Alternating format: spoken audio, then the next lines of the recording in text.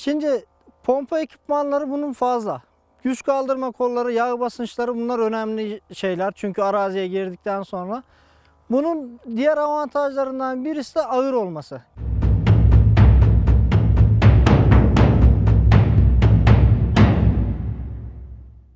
Tarlada daha randıman veriyor. Ağırlık olduğu gibi motor gücü 50 beygir güçse bu 60 güce de çıkabiliyor yani. 60-65 güce de çıkabiliyor. Bu özelliklerin yanı sıra kuyruk mili çift devir. Kuyruk milinde mesela ekipman kullanan arkadaşlar olursa onda yardımcı olur.